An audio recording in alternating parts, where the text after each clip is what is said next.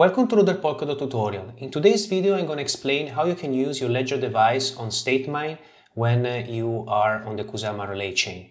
The same procedure will apply for StateMint on Polkadot. StateMine is a system parachain that is different from Kusama and uh, both operate on different apps. Due to account portability, if you have an account on Kusama, you also have an account on StateMine. But, for example, if you have one KSM on a Kusama account, you don't have one KSM on a StateMine account. You need to teleport from Kusama to StateMine. Unfortunately, at this stage, there is no possibility to teleport KSM from Kusama to StateMine using a Ledger device. In order to do so, you need first to have KSM on an account that is uh, not a Ledger account. It can be an account that is imported to the browser extension or directly to the user interface. And uh, from that account, you need to teleport your uh, tokens to StateMine. And uh, in StateMine, then you can use the StateMine Ledger app to um, transfer native tokens, uh, KSM, or uh, other assets between uh, different accounts on StateMine. Here we are on the Polkadot.js user interface. We are currently connected to an RPC node on the Kusama network, and we have two accounts that are injected from the browser extension. We can see the browser extension here, and these two accounts are currently visible. Currently, the browser extension does not support the StateMine Ledger app. This means that you cannot add a Kusama Ledger account on the uh, browser extension and have an injected account in here, you need specifically to add the Ledger account on the user interface, not on the browser extension. How we can add a Ledger account on the user interface? Currently, we can see here we cannot add an account. We need to go under settings and then manage hardware connections. We can see do not attach Ledger device. We should change this setting to attach Ledger via web USB and uh, click Save. Go back to Accounts. And we can see here, now we can add from Ledger.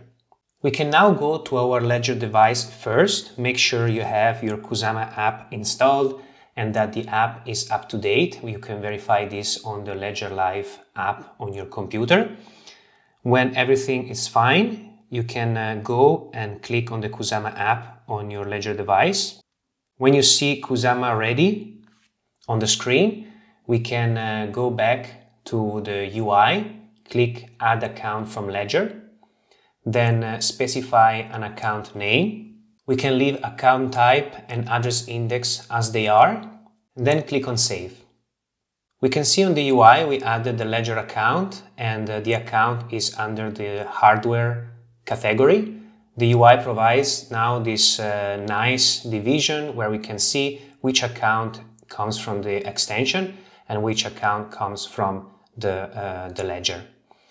In this account, we already have some funds, 0.01 KSM. Note that at the moment it's not possible to teleport um, tokens using ledger accounts. So we cannot actually send this uh, 0.01 KSM from the KSM ledger account on Kusama to the same account on StateMine. We will try to do so just to demonstrate that uh, this is not uh, currently possible. We go under Accounts, Teleport, we select Ledger, Destination Chain StateMine, the address is always the ledger. We specify the amount, 0.05 KSM, and uh, we click on Teleport and sign and submit with the ledger. And we can see here the method is currently not supported. So a way to teleport KSM tokens to our Ledger account on StateMine is uh, that we can uh, use a non-Ledger account and we can send the tokens from this KSM stash to the KSM ledger on StateMine. So we go under accounts, teleport, we select KSM stash, the destination chain is always StateMine, the address is uh, KSM ledger, we specify the amount. We need to sign with the KSM stash account. All right, we can see we successfully sent the KSM tokens to the KSM ledger on StateMine, we can go and switch to StateMine. We can see here we received the KSM tokens. Now within the StateMine system parachain, we can use the StateMine ledger app to transfer the tokens. We will try to transfer from the KSM ledger back to the KSM stash. So we can click on send, specify we want to send from KSM ledger to the KSM stash. We want to send all the funds, so we are reaping the sender. Click on make transfer. Before clicking sign and submit, go on your Ledger device, search for the StateMine app. If you don't have it, you can download it from the Ledger Live application on uh, your computer.